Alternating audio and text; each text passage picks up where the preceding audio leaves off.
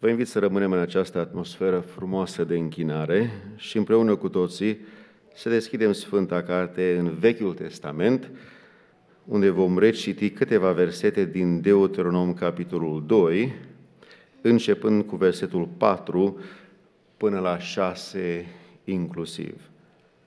Repet cuvântul Domnului de la Deuteronom, capitolul 2, începând cu versetul 4 până la 6 inclusiv. Cuvântul Domnului atât de relevant pentru noi în seara aceasta, arătându-ne o formă în care Dumnezeu ne poate folosi, o formă în care sigur vrea să ne folosească pe fiecare din noi. Haideți să vedem forma aceasta de frumoasă. Versetul 4 spune în felul următor. Dă următoarea poruncă poporului.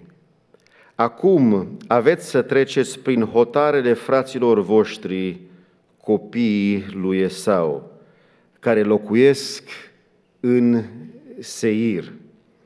Ei se vor teme de voi, dar să vă păziți bine, să nu vă încăierați cu ei, căci nu vă voi da în țara lor nici măcar o palmă de loc.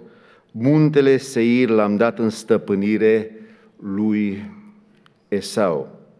Să cumpărați de la ei cu preț de argint hrana pe care o veți mânca și să cumpărați de la ei cu preț de argint chiar și apa pe care o veți bea. Amin. Iubiți frați și surori, în seara aceasta, prin ajutorul lui Dumnezeu, uitându-ne în continuare în acest cuvânt atât de frumos al lui Dumnezeu, acest cuvânt sfânt, ne aducem aminte că, începând cu Deuteronom, capitolul 2, am început să medităm la un subiect deosebit de, de important și deosebit de folositor pentru fiecare din noi, și anume am meditat și medităm în continuare despre subiectul cum arată drumul recuperării sau cum arată drumul pocăinței. De multe ori ne spunem, auzi, avem nevoie de mai multă pocăință și avem dreptate. Dar de multe ori este întrebarea, dar arată cum arată drumul acesta al pocăinței și în lecțiile anterioare am văzut că drumul pocăinței este un drum al reorientării, un drum în care ne aducem aminte, vedem unde am căzut, analizăm greșeala noastră și spunem, aha, uite, stilul vieții mele, gândirea mea, acțiunile mele nu au fost plăcute înaintea lui Dumnezeu și uh, după un an, după o jumătate de an, după o lună, după o zi sau după chiar 40 de ani, în sfârșit ne trezim, nu mai ocolim, nu mai dăm ocol în jurul muntelui Horeb și mergem pe calea pocăinței. Deci, în primul rând, am văzut că este un drum al, drumul pocăinței este un drum al reorientării. Asta este partea noastră, reorientarea.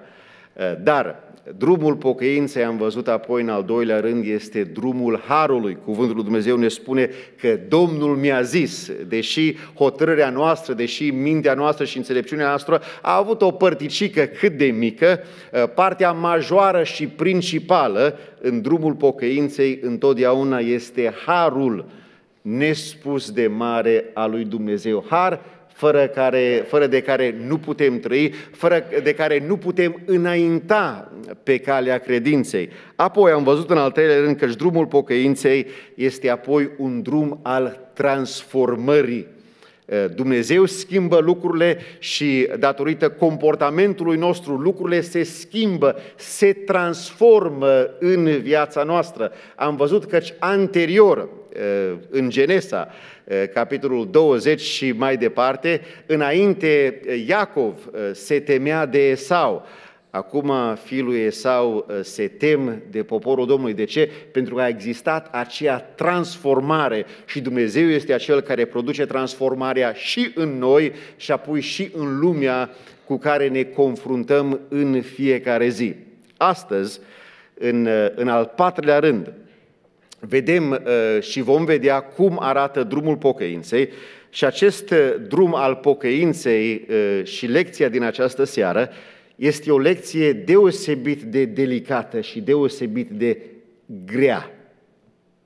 Deosebit de grea.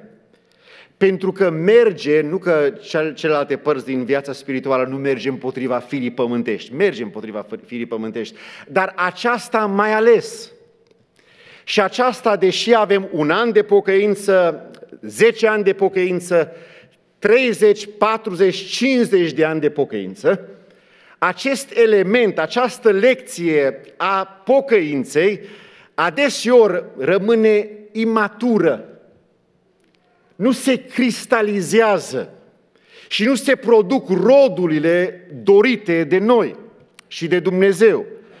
De aceea vom observa că de multe ori oameni care, deși au 10, 20, 30, 40, 50 de ani de pocăință, biserici care au fost păstorite de oamenii lui Dumnezeu, oameni mari, după 30, 40, 50 de ani de slujire, pș, dau cu piciorul păstorului. Uh, acesta nu este, din nefericire, nu este un fenomen nou. Uh, biserica care a fost păstorită de Jonathan Edwards, unul din mari predicatori din The Great Awakening, um, după mai mulți ani de slujire, datorită faptului că Jonathan Edwards nu a avut convingerea că copiilor trebuie să li se deie cina Domnului, ci doar a celor care pot mărturisi credință în Domnul Isus Hristos, biserica a spus, we've had enough, please leave. Bine că l-a primit Princeton, ca să fie unul din președinții acestei uh, facultăți teologice. Dar în seara aceasta ne vom uita la un subiect care este uh, drag inimii mele uh, și trebuie să fie drag oricărui creștin, oricărei persoane care iubește pe Domnul Isus Hristos și anume în seara aceasta ne vom uita la un drum uh, al pocăinței numit drumul respectului sau drumul grijei pentru alții. Dumnezeu vrea în seara aceasta să ne folosească pe fiecare din noi, să ne învețe și să începem să practicăm tot mai mult un drum numit un drum al respectului. Iubiților, respectul din nefericire, ca și celelalte virtute spirituale, trebuie învățat uh, și trebuie practicat prin autostăpânire. De aceea Dumnezeu, când vorbește poporului Israel, care era cât paci să intre în țara făgăduită, le spune – copiii lui Esau, edomiții aceștia, le va fi frică, se vor teme de voi. Voi însă păziți-vă bine, stăpâniți-vă bine, self-control și nu vă încăierați cu ei. That means don't battle where there is not to be a battle. Nu te certa unde nu trebuie să fie ceartă respectă pe frații tăi, respectă pe semenii tăi. Cuvântul Dumnezeu, spunându-ne că respectul acesta trebuie învățat, uh, haideți să vedem câteva aspecte ale acestui respect care trebuie învățat. Trebuie să, res- să învățăm, să respectăm munca altuia. Ca și popora Domnului, dacă Dumnezeu vrea, dacă vrem să fim folosiți de Dumnezeu, Dumnezeu îmi spune mie, Leonard, înainte de a putea să te folosesc pe tine, trebuie să te învăț să respecti munca altuia. Deuteronom, capitolul 2, versetul 4, spune în felul următor, veți trece prin hotarele fraților voștri nu sunt hotarele voastre. Voi nu ați muncit pentru aceste hotare. Altcineva a muncit. A fost truda și agonisirea altuia. Când veți călca pe pământul lor, să respectați munca altuia. Întoarceți împreună cu mine la câteva lucruri deosebit de fundamentale pentru a putea înțelege acest pasaj și alte pasaje la care ne vom uita în seara aceasta din profeții minori. Și anume, Genesa 36, începând cu versetul 1 și apoi versetul 6, spune în felul următor.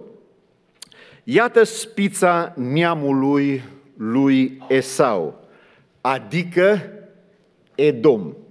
Când se spune Esau sau când se spune Edom, we are to think the same thing. Trebuie să gândim același lucru. La sfârșit, versetul 8 spune din 36 Genesa, Esau s-a așezat în muntele Seir. Esau înseamnă Edom. Acum, versetul 6. Esau și-a luat nevestele, fiii și fiicele, toată uh, lumea din casă, turmele toate, vitele și toată averea pe care și-o agonisise în țara Canaan și s-a dus într-o altă țară, departe de fratele său Iacov. După ce Dumnezeu a produs această transformare, Iacov împreună cu Esau se împăcase, au trăit o vreme mai aproape și apoi s-au îmbogățit amândoi, au avut fiecare munca și truda lui și cuvântul este clar și categoric. Toate vitele și toată averea pe care și-o agonisise în țara Canaan. În Deuteronom, capitolul 2, versetul 4, Dumnezeu le aduce aminte că țara aceasta a dat-o Dumnezeu lui Esau și datorită muncilor au câștigat-o truda lor și munca lor. Acum, pentru noi, este atât de greu să respectăm munca altuia. Pentru soț, este greu să respecte munca soției. Eu, de când călătoresc înapoi la Seattle și trebuie să-mi fac eu papară, din când în când, o ciorbă de varză, sunt pe telefon, dragă, cum, ce fac, cum fac, de dietă, bineînțeles, ehm, curățenie, să-mi spăl hainele, am descoperit cum se spală hainele, ehm, nu-i mare lucru, le pui la mașină, nu? Dar asta ia timp. Trebuie să vii acasă, să împarți alea mai închise la culoare de alea mai deschise la culoare. Altfel uh, o încurci. Uh, pui detergent, uh, pui și Downy și apoi apeși butonul. Numai că nu se spală în trei minute. Dacă vrei să te și cool să n-auzi gălăgie, trebuie să plan things out. Și apoi interesant că după ce le spală mașina, nu le și uscă aceeași mașină. Poate un român poate descoperi o mașină care le face pe ambele. Eh, dar trebuie să le scoți din una să le pui în alta. Eh, și în aia trebuie să o curăți de tot lentul care este acolo eh, și dacă cumva lași hainele mai mult decât trebuie acolo sau nu le iei afară, ce se întâmplă cu ele? Se șifonează din calea afară. Numai eu știu cum arată t-shirturile mele. Dar culmea, nu s-a terminat, trebuie împăturate. Ciorapii cu perechea lor, ă, fiecare pe pereche acolo, nu știu ce face nevasta, le, parcă le calcă. Când, ă, când mă uit eu la ce am făcut eu acolo, e dezastru, ca la un burlac și spunem ă, ce a făcut nevasta acasă și eu singur și mă sperii de câtă mizerie fac în casă. Gunoiul trebuie dus afară, după ce ai gătit, trebuie făcut curat.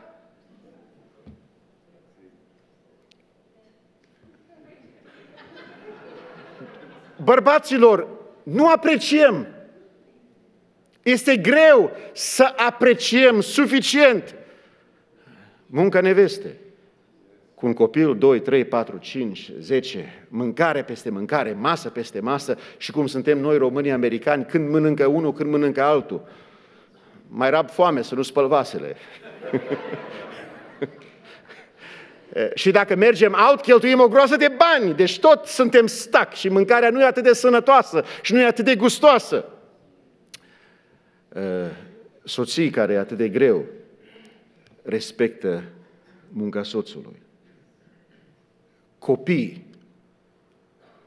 care atât de greu respectă munca părinților.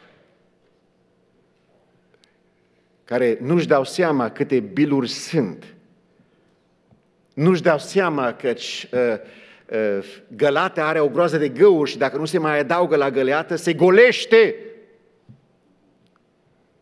You see? God, if you can use anything, you can use me.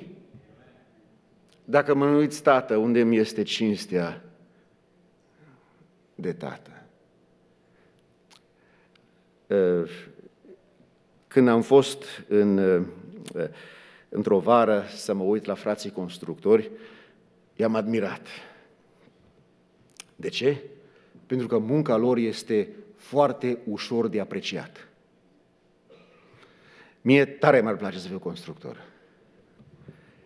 Mergi la lucru și dai raportul acasă după 10 ore. Dragă, am ridicat patru ziduri am pus drywall, am pus parchet, hai să vezi. Și se vede. Am practicat ca și medic și am văzut 30 sau 40 de pacienți într-o zi. Pacienții s-au dus, dosarele au rămas. Și m-am scărpeat în cap și zis, dar ce am făcut toată ziua astăzi? There's no substance. You can't see it. Dar la sfârșit de lună vin banii și vezi că totuși ai făcut ceva.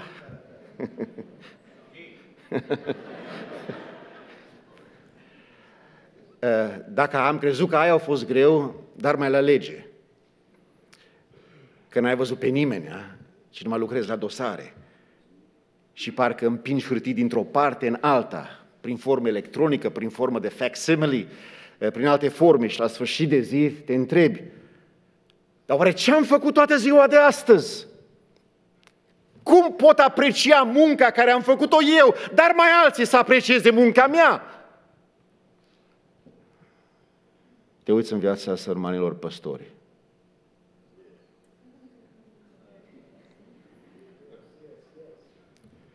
Predici un an, doi, trei, patru, cinci.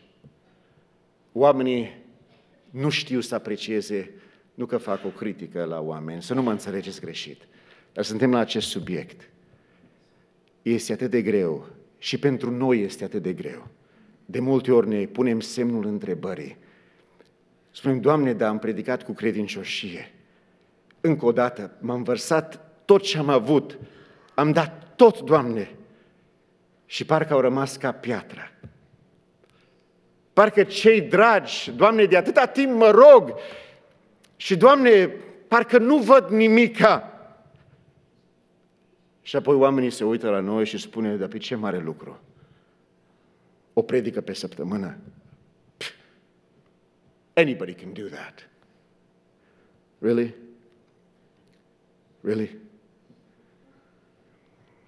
Iubiților, noi promovăm medicii care sunt și care lucrează cu dăruire de inimă aplaudăm financiar și în alte forme avocații care ne câștigă cazurile și care lucrează cu sinceritate și cu integritate.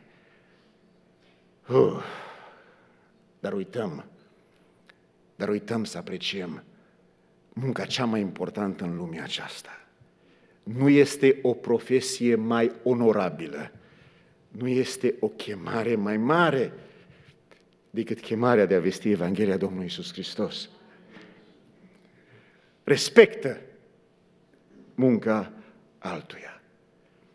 Liderii respectă pe cei care slujesc împreună cu tine, fie că ești la muzică, fie că sunt în slujbă de păstor, sunt alții care sunt alături de noi și trebuie fiecare să avem un respect reciproc unul pentru celălalt.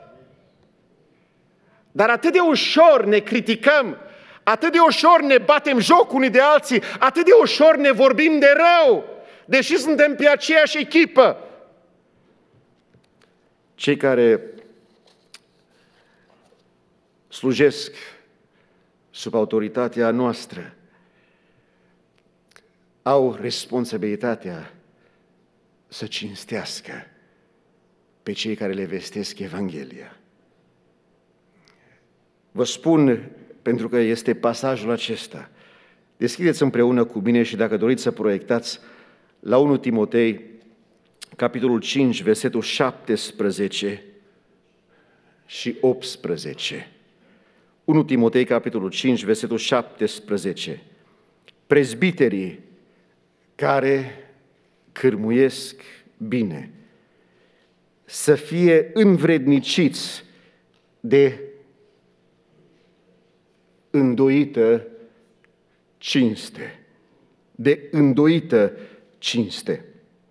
Double honor. Mai ales cei ce se ostenesc cu propovăduirea și cu învățătura pe care o dau altora. Cinste îndoită? Cum? Că plecăciuni nu facem, nu? Când cinstești pe cineva, când apreciezi pe cineva, în primul rând dai ascultare, dai respect cuvântului, recomandărilor, sfaturilor pastorale. Apoi, apoi, îndoită cinste în contextul nostru biblic, versetul 18 spune că Scriptura zice să nu legi gura boului când trei răbucate și vrednic este lucrătorul de... De ce? De plata lui. Dar nu face nimic toată ziua. Really? Rugăciunea înălțată către Dumnezeu este nimica? Studierea cuvântului Dumnezeu chiar este nimica? Anghiția merge mai departe, a lucra cu credincioșie, chiar este nimica? Dar ferească Dumnezeu să-i promovăm, să sugerăm să le dăm un bonus, să ne gândim și să ne uităm detailat în viața financiară a casei lor, nu bat apropo deloc. Predica aceasta și cuvântul acesta merge în orice biserică. Doamne, fer să facem astfel de lucruri. De ce? Că vai de mine. Cum? Cum să facem astfel? Cum să ascultăm de cuvântul lui Dumnezeu? Dar este munca Lui. Este munca casei Lui. Când te duci sâmbătă la parc, El stă acasă și se roagă. Când ești în confort, El este la spital. Drumul pocăinței. Trebuie să respectăm munca altora. Munca grea aceasta rezultă în beneficii eterne, este adevărat. Dar Dumnezeu spune că trebuie să fie și aceste beneficii vremelnice. Doamne, dă-ne urechi de auzit. Amin. Iubiților, forma în care ne adresăm unii altora. Cum mă adresez soției? Cum mă adresez soțului? Nu vorbim de forme exagerate sau chiar biblice, Domnul meu. Dar când a fost ultima dată când te-ai adresat sau cu regularitate te adresezi nevestei, draga mea, iubita mea? S-ar speria copiii dacă ar auzi astfel de cuvinte din gura ta? Respect. Respect. Este domeniul ei. Apoi, um, nu trebuie să respectăm munca altuia, trebuie să respectăm binecuvântarea altuia. Binecuvântarea altuia. Capitolul 2, versetul 5, partea finală spune, muntele Seir l-am dat în stăpânire lui Esau.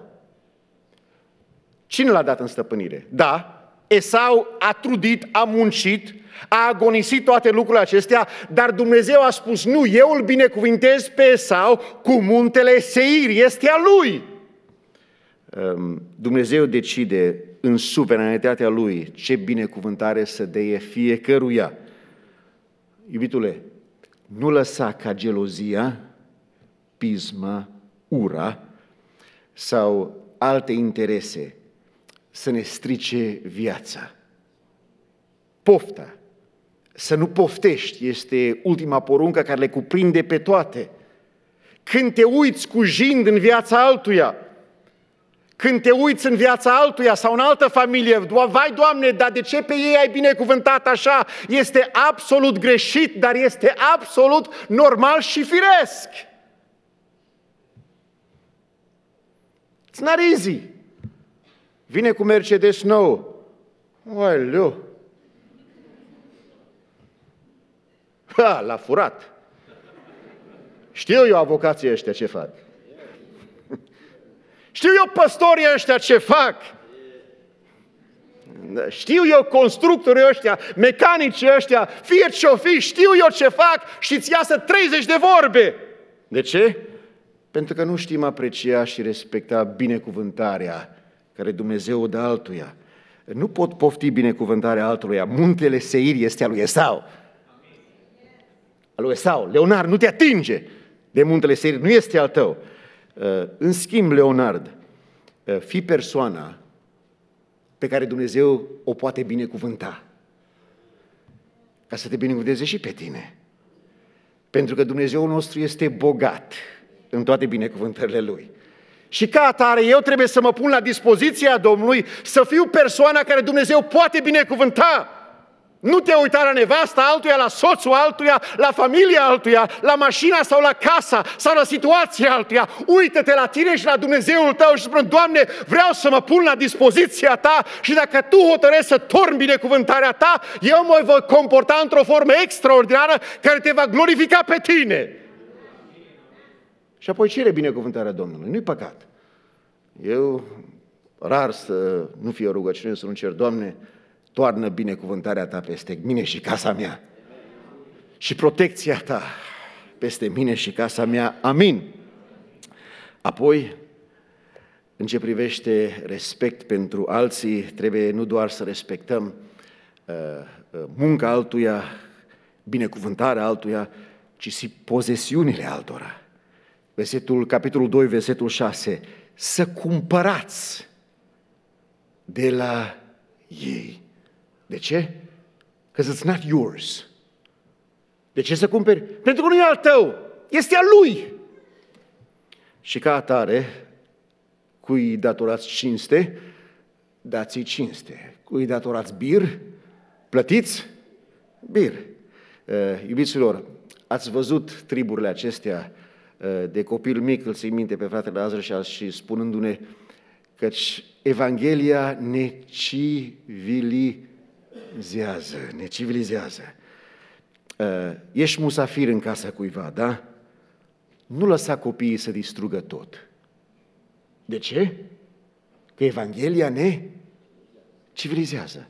Dacă lași copiii să distrugă tot, nu respecti pozesiunile altora codul de bunul, bunele maniere. Acestea ar trebui să fie fără să spunem, dar din nefericire adeseori nu sunt. Dacă ești musafir la restaurant, nu lăsa copiii să facă prăpăd, că și așa plătești. Nu plătești ca copiii să facă prăpăd. Plătești pentru mâncarea care ai servit-o. Dacă ești la restaurant și îți permiți să ieși la restaurant, respectă pozesiunile altora. Lasă bacșiși. Lasă bacșiș. Cât?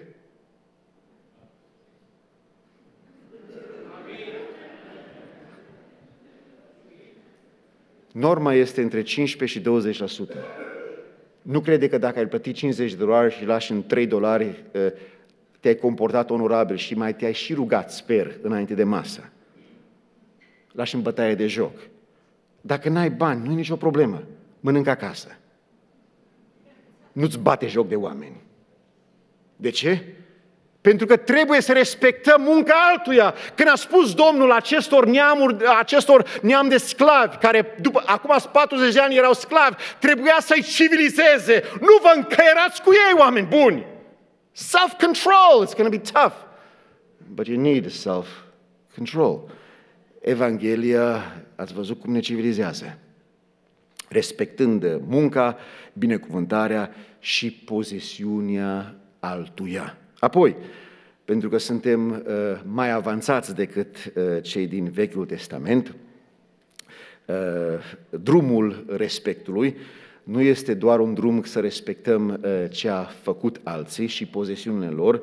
Dumnezeu ne cheamă în acest drum al respectului nu doar să ne respectăm, ci să mergem mai departe. Și ce ne cheamă să facem?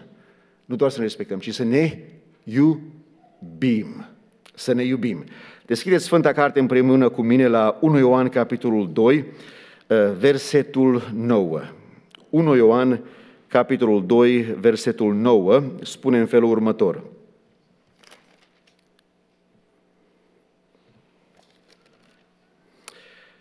Cine zice că este în lumină și urește pe fratele său, este încă în întuneric până acum.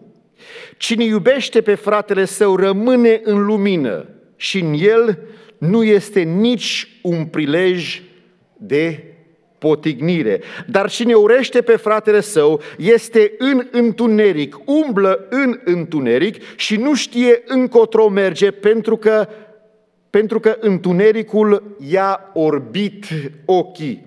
Iubirea de frați, iubiți frați și surori, facilitează spiritualitatea noastră.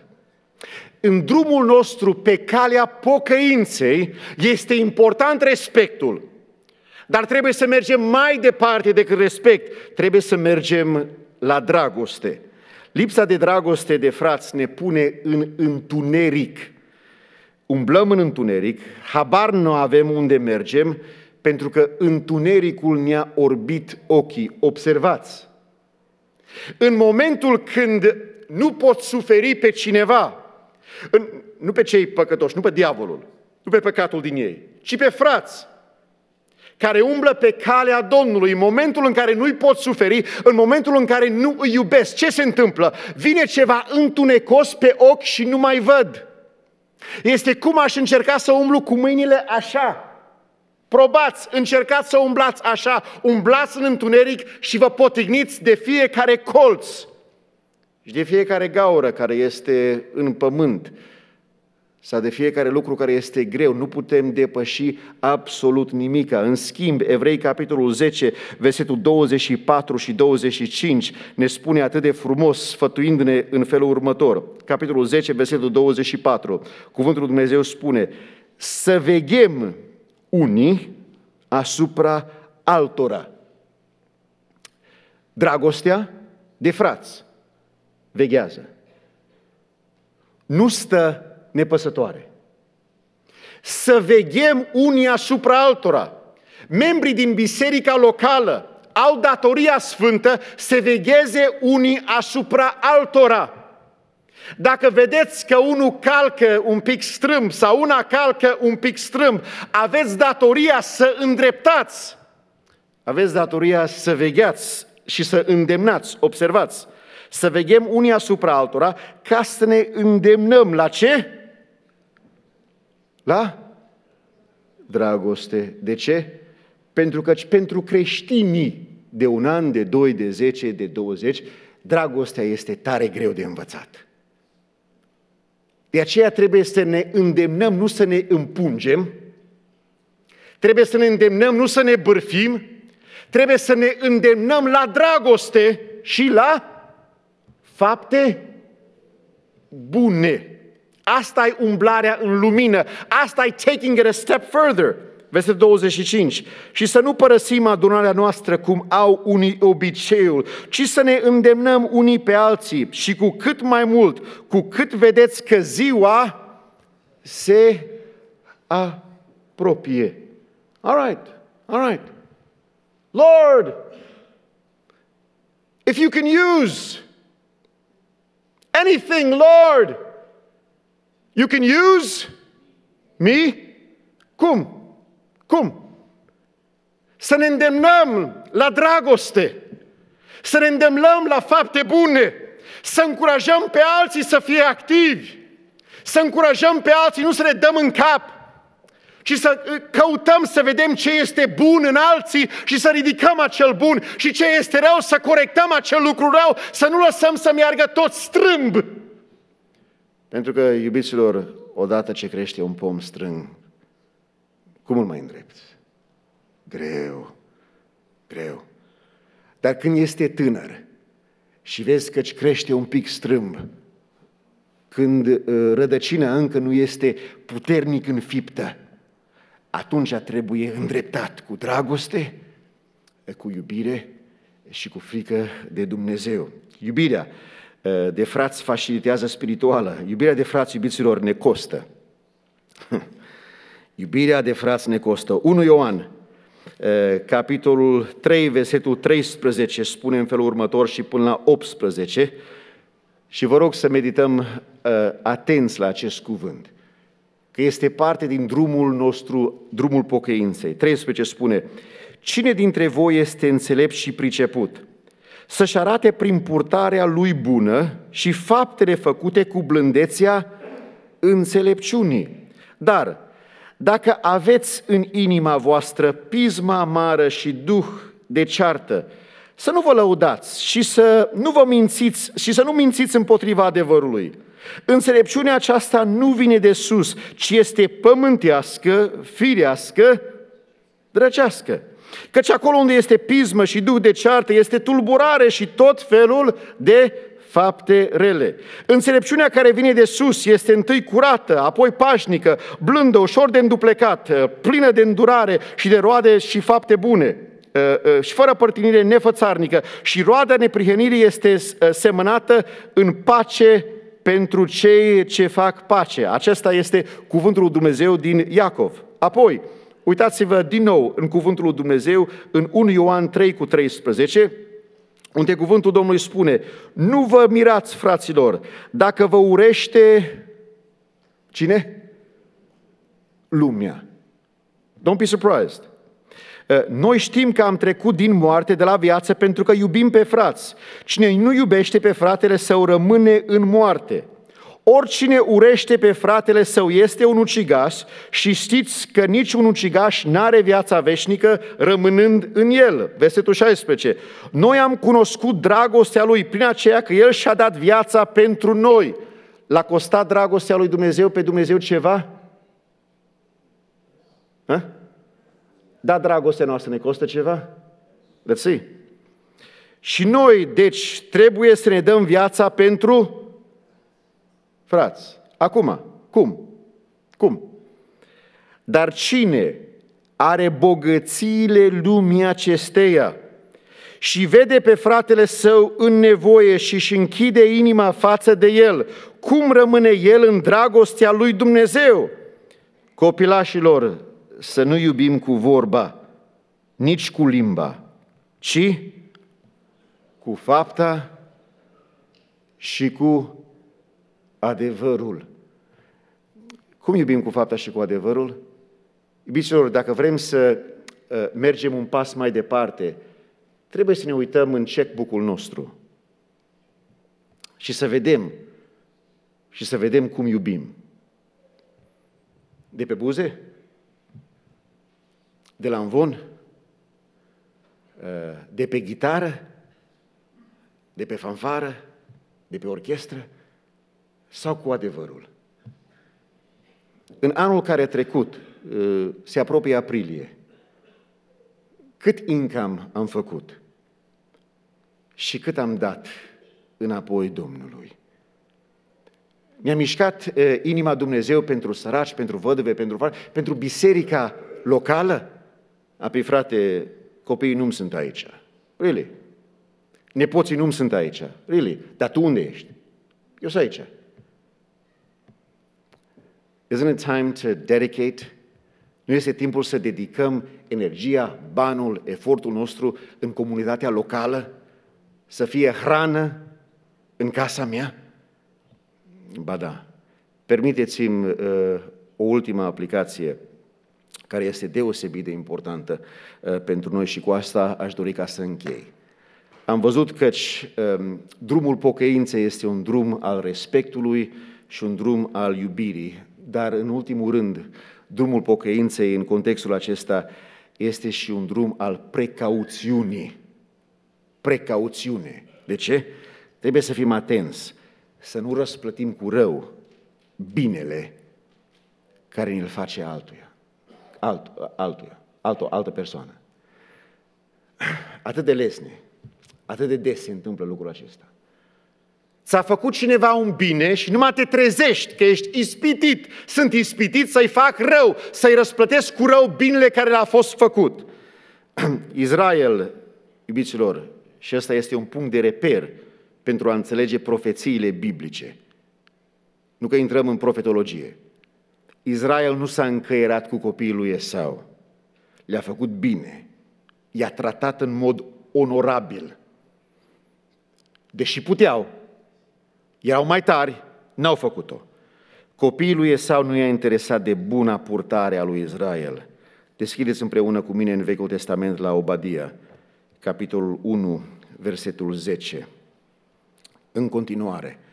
Și medită, merită un pic, pentru că aceasta se aplică atât de pregnant la noi. Domnul spune în această prorocie, verset, capitolul 1, versetul 1, prorocia lui Obadia, așa vorbește Domnul despre Edom. Edom este Esau. Versetul 10. Din pricina silniciei făcute împotriva fratelui tău Iacov, vei fi acoperit de rușine și vei fi nimicit cu desăvârșire pentru totdeauna. Căci în ziua când stătea în fața lui, în ziua când străinii îi luau averile, când străinii intrau pe porțile lui și se aruncau sorțul asupra Ierusalimului, tu erai atunci ca unul din ei. Esau, ai uitat că ți s-a făcut bine? Edom, ai uitat că ăștia nu s-au încaierat cu tine, că au cumpărat cu preț de argint și apa care au băut-o? Nu trebuia să te uiți mulțumit la ziua fratelui tău.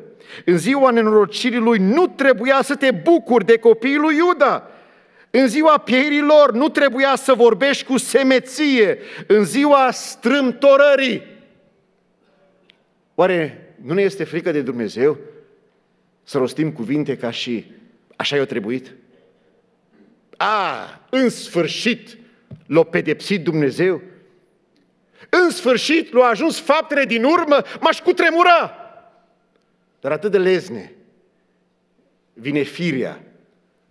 Nici nu trebuia să intri pe porțile poporului meu în ziua nenorocirii lui. Nici nu trebuia să te bucuri de nenorocirea lui în ziua prăpădului lui. Și nu trebuia să mai pui mâna pe bogățiile lui în ziua prăpădului lui. Nu trebuia să stai la răspândiți, la răspântii, ca să nimicești pe fugarii lui.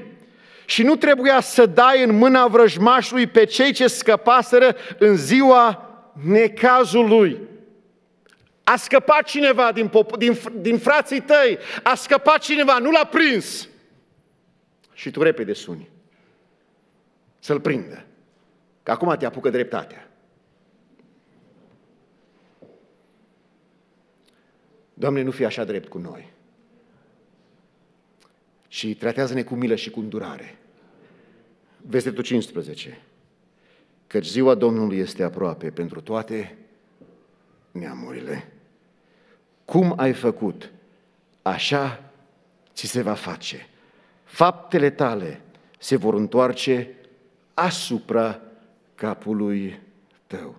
Alte pasaje din Hagai, capitolul 1, 5 la 11, Țefania 3 la 5, partea finală, Ezechia, Ezechiel 35, capitolul întreg, Ezechiel 25, 12 la 14, tot vorbesc despre Edom împotriva lui Israel, pentru că a uitat binele care Israel le-a făcut. Dumnezeu, iubiților, cum am citit în, în Obadia 1 cu 15, vede. Ezechiel 16 cu 59 spune, căci așa vorbește Domnul Dumnezeu, îți voi face întocmai cum ai făcut și tu care ai nesocotit jurământul rupând regământuri. Galateni 6 cu 7.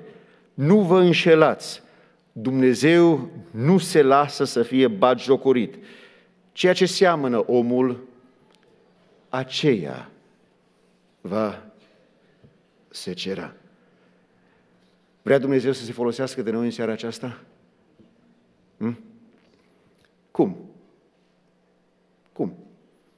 Fie că ai patru ani, fie că ai 50 sau că ai 80 de ani. E timpul să învățăm respectul. E timpul să ne adresăm altfel. Unde mergi la biserică? Pii, mă duc la antemie. Really? Unde mergi? Mă duc la, la Gog. Respect. Ce ai făcut, ți se va face. M-ar fi rușine să vorbesc astfel în casa mea. Frații păstori sunt îngerii Domnului puși slujitori aici. Să numiți frați. Cultura noastră are multe lucruri bune, printre, printre câteva formalisme. Dacă înveți limba română sau dacă vorbești limba română, eu mă străduiesc să o învăț mai bine. Este o limbă frumoasă. Vorbește-o frumos.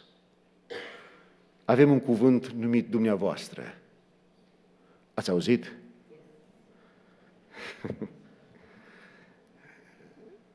un cuvânt mic. Spaniolii îl au. Uh, am fost la primul an de spaniol în Los Angeles și profesoara uh, uh, a spus, Leonardo, ¿cómo estás? Și am spus, eram la 14 ani. Am spus, muy bien. ¿Y tu? S-a uitat la mine și a spus, în viața ta să nu mai folosești astfel de cuvinte. Nu se poate mai urât. ¿Y tu? Nu suntem de aceeași vârstă? ¿Y usted? Spaniolii uh, uh, au usted pentru dumneavoastră. Uh, pentru tine, pentru copii. Uh, chiar dacă nu pronunți cuvântul corect. Uh, când cineva spune, mă băiete, ce faci? Bine, dar dumneavoastră? Sounds different, doesn't it?